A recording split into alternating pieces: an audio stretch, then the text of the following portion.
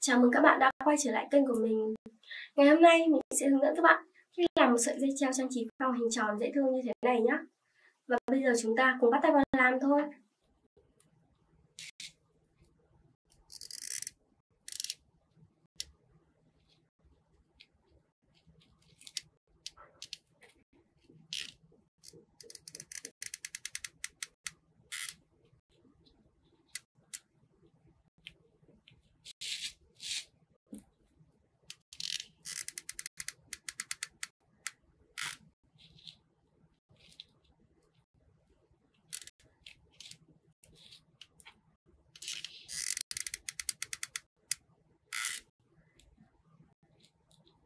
Rồi.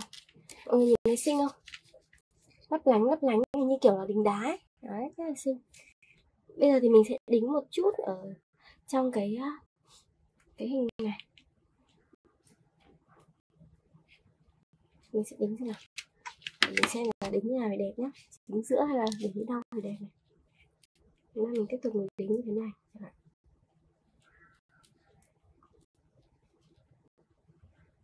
đây, mình xếp lên thử cho mọi người nhìn nhé.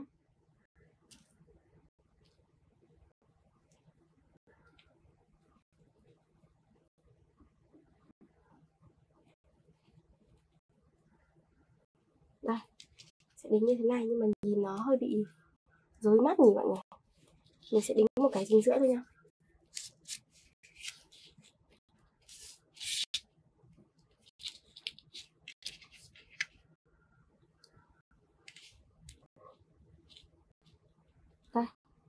như này nhìn nó thuận mắt hơn này mọi người. Tại vì cái lớp bên ngoài đã rất là nhiều cái hình tròn này rồi. Bên trong mà cũng nhiều nhiều như thế nữa, nhìn nó rất là dối mọi người nhìn thấy không? Đấy, rất là xinh rồi. Nhưng mà lúc mà treo đây nhá, đây thì lại một bên không có, đúng không? Thì không được đẹp. Thế nên là mình sẽ phải làm cả hai bên nó y hệt nhau nha bây giờ mình sẽ đính những cái hạt này. Cũng theo các bước y hệt như ban nãy đây, mọi người cũng sẽ đính ở chính giữa này, chia đều đính theo chiều dọc dọc theo cái sợi dây trước tiên. Đấy.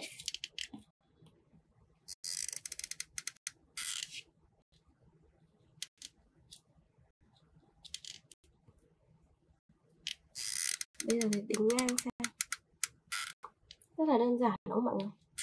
Ai cũng có thể đính được hết, mà đính còn rất là đều nữa cơ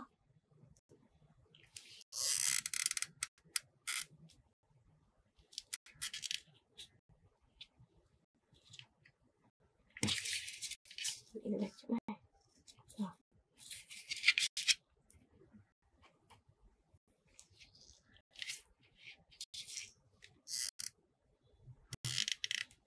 đấy, mình cứ đứng ở chính giữa để mình dàn đều khoảng cách.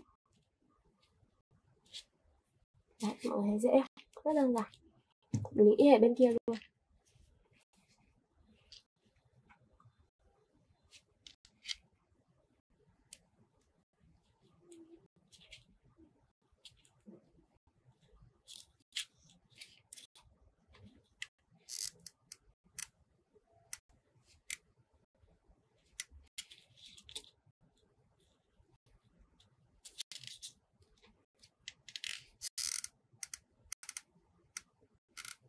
mình đang bị thiếu cái này.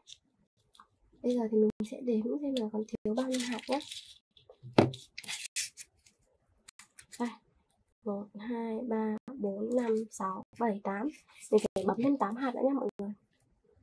Mình sẽ đính cái hạt ở chính giữa trước. Đó, rất là xinh. Đây mọi người nhìn này. Bên này đang bị thưa này. Nhưng bên này của mình nó nhiều, nó đẹp hơn đúng không? Mình phải bấm thêm 8 hạt nữa.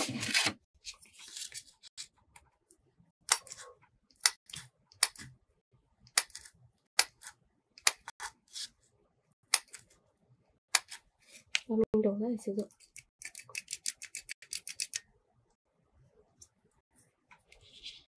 Bây giờ mình sẽ tiếp tục mình đính vào. Chia đều khoảng cách.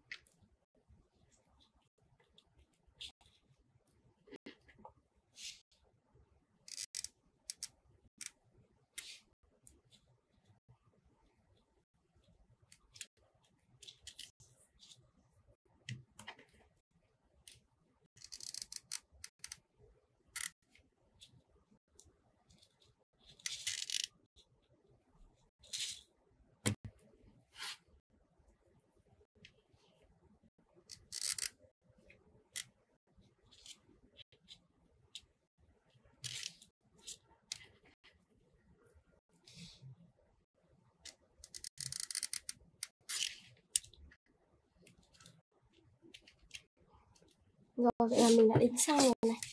Bây giờ thì mình sẽ bỏ những cái phần mình làm xong rồi mình bỏ ra một bên nhá. Cho mọi người nhìn ra rõ được cái dây chuyền mình đã hoàn thành. Thì sau khi mình làm xong ấy trên dây nó sẽ có những cái sợi sẽ keo ấy, mọi người nó dính dính này, này. Mọi người dịch đi là được nhá dịch ra để cho cái à, dây treo của mình nó được hoàn thiện hơn đấy đấy những cái dây này. Kiểu cái keo này nó khô nhanh mà mọi người đấy, kéo thành sợi.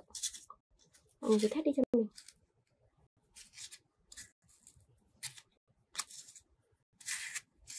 Rồi. Giật xong thì mọi người phủi đi luôn nhá Không nó lại dính ngược lại lên cái cái treo của mình ấy.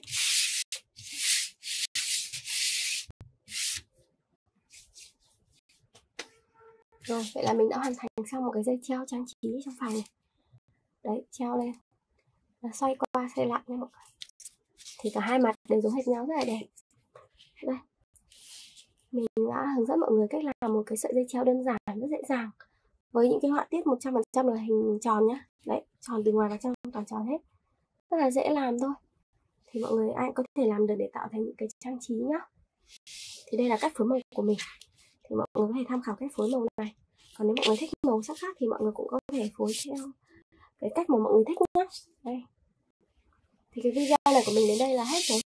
Hẹn gặp lại mọi người ở những video tiếp theo nha. Bye.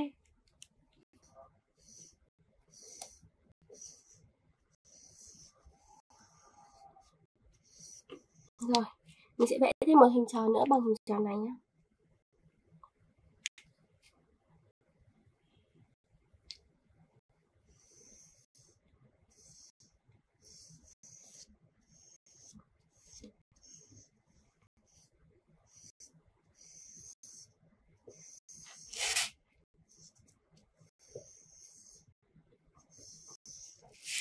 Rồi, bây giờ thì mình sẽ vẽ cái hình tròn nhỏ hơn nhé. Vẽ một cái hình tròn nhỏ hơn.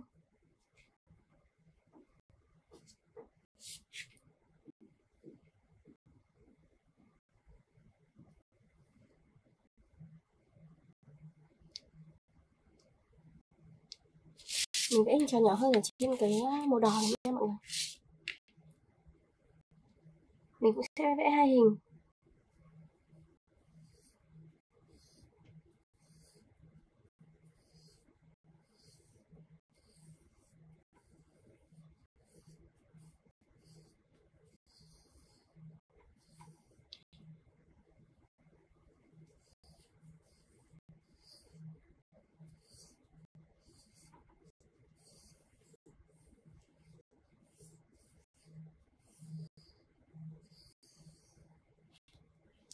rồi mình sẽ được ừ, hai hình tròn giống nhau như thế này.